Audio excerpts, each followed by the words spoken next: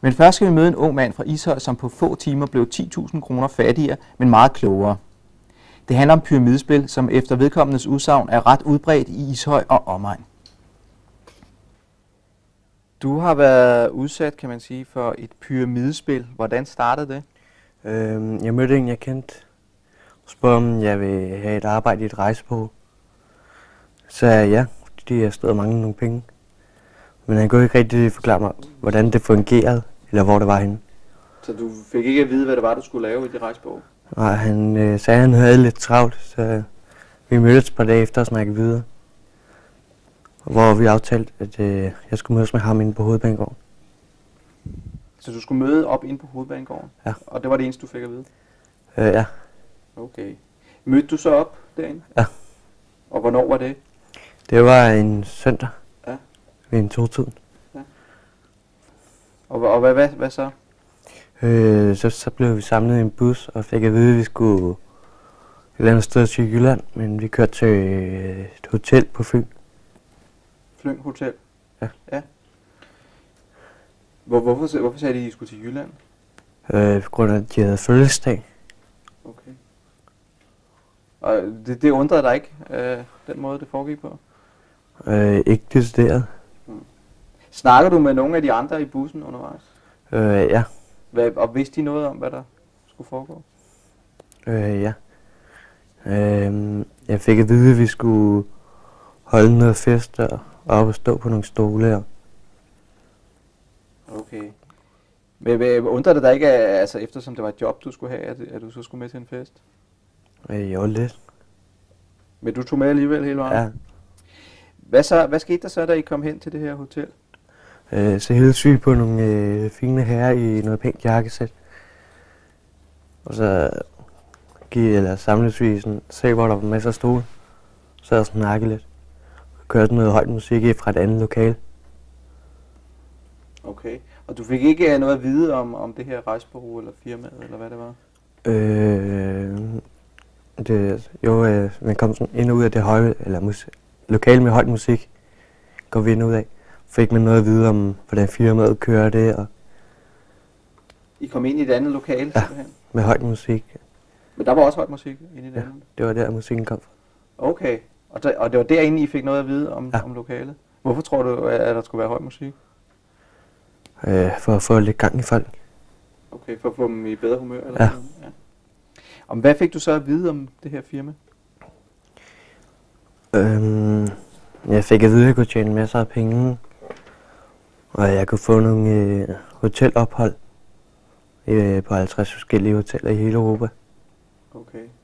Og hvor- hvordan øh, skulle du tjene de penge? Øh, ved at få andre folk med ind. Andre folk, der skulle, øh, der, der skulle være sælgere, eller hvad det Ja. nu var, de Selv. skulle lave? Okay.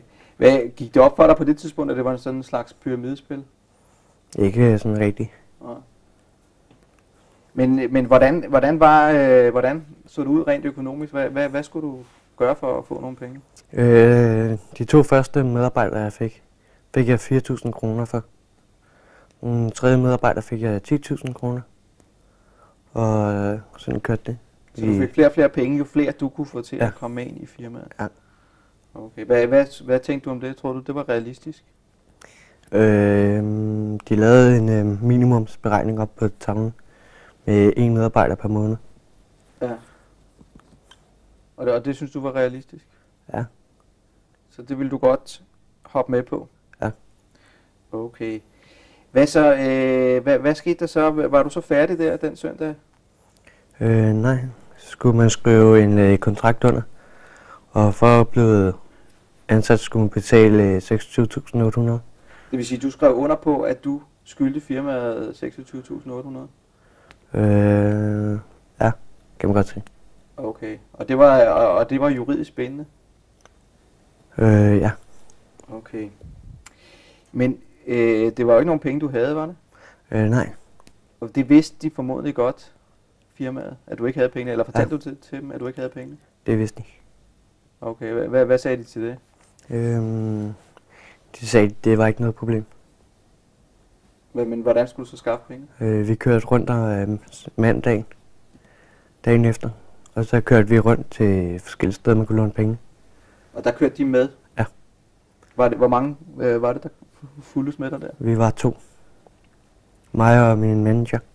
Det var, og manageren, det var så ham fra firmaet? Ja. Men han hjalp dig simpelthen med at låne nogle penge? Ja. Hvordan foregik det? Øhm, han skrev lånekontrakten. Og så skulle jeg bare gå ind med mit pas og sygesikringsbevis og skrive under. Okay. Ja. Så, så det var ham, der klarede alle, øh, alle formaliteterne for Ja.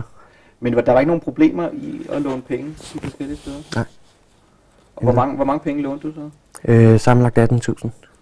Og dem puttede han så i lommen, kan man sige? Fik en kvartering. Du fik en kvittering Ja. af ham? Okay, på at du havde betalt den.